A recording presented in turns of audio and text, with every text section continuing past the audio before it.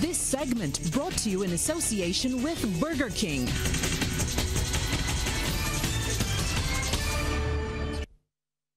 It's sports time now. Good evening, Damien. I know the uh, cricket world is still mourning the death of legend Seymour Nurse. Definitely, Shane. It continues. Prime Minister Mia Amor-Mottley has paid tribute to cricket legend Seymour Nurse.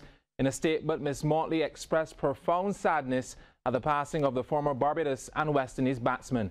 Ms. Mottley said that though Nurse made a name for himself, his country, and the whole Caribbean back in the 1960s as a batsman of immense class, he would have in more recent times endeared himself to countless younger Barbadians through his work as a cricket coach. The Prime Minister went on to say that time's journey being what it is, not one child he coached as he visited schools around the country as an employee of the National Sports Council would have had the opportunity to see him execute any of the exquisite batting shots for which he became legend while wearing the West Indies cap. She added that the life lessons Nurse imparted to them while wearing his coach's hat for so many years would have positively impacted countless young minds on and off the field, and no doubt will continue to live on even after his death. Well, for the second year running, the National Primary Schools Volleyball Competition will feature on the annual sporting calendar, and there's expected to be an increase in participation based on an initiative to develop the sport. The Volleyball Club's Assisting Youth Program, or VK, has partnered with a select group of primary schools across the island in the hope of developing the sport at the junior level. Given that the clubs are community-based, the pairings between them and the schools have been completed based on proximity to each other. We know that primary schools especially do not have infrastructure for the teaching and learning of volleyball. That's why we decided as an organizing committee to sit down and come up with an idea to assist primary schools. And the quickest way to do that is to use the existing infrastructure that we have, volleyball clubs who are in communities, because the volleyball clubs are community-based, and we spoke to the clubs and we asked the clubs, would you be willing to assist primary schools to learn the sport of volleyball? And we got an overwhelming yes from the clubs. So what we decided was to partner every primary school who is willing to be a part of the primary school competition with a volleyball club. Now, Carlton Club has been paired with the Eiffel School and St. Cyprian's Chargers Club, Wesley Hall Juniors and Hindsbury. Deacons Club will mentor Deacons Primary and St. Stephen's, who were the hosts of today's media launch, Clapham Toners, Wilkie Cumberbatch and Luther Thorne. Warren's Club has Sharon Primary, Eden Lodge and West Terrace, and Progressive, once on board, will mentor St. George Primary and St. Jude's. Now, the Barbados Volleyball Association has endorsed the VK uh, committee's initiative as it lends to ensuring the longevity of the sport on the island. We've long talked about getting volleyball into the primary schools. As Ms. Broom alluded to earlier, we compete with cricket and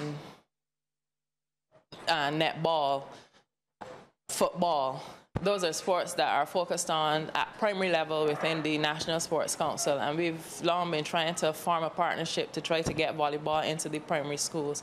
And this is a perfect initiative to, going forward, try to encourage people to get involved in volleyball at a young level, a young age.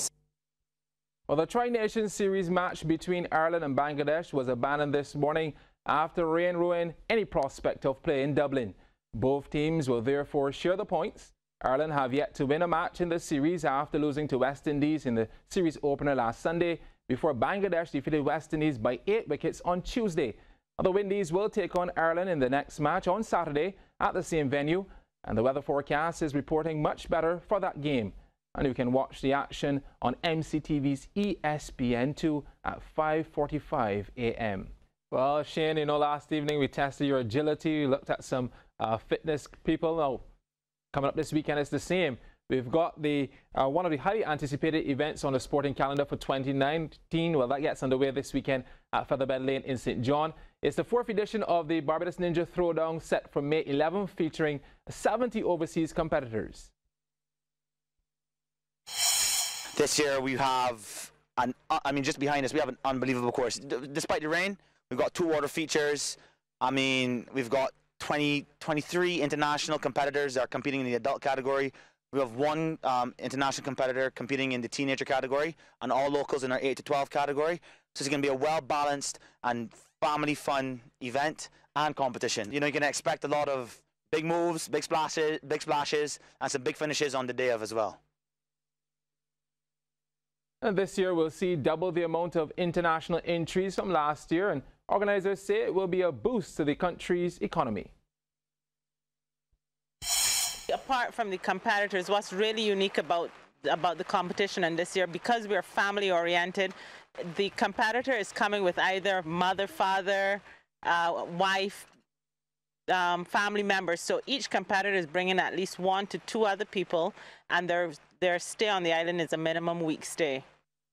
Well, Minister of Sports John King has also endorsed the event and is encouraging all Barbadians to attend. Well, the Ministry of the Creative Economy, Culture and Sports is very, very pleased to be involved um, with this event. It's one of the things that we've been um, supporting for a number of years now in terms of getting a lot of our staff members were the ones who would come up to this venue and, and actually were the ones who told me about it. Even though, even though Monica and I've been friends for a long time, um, I didn't get a chance to come until last year, I believe it was. Right. And I was totally blown away as to what I saw.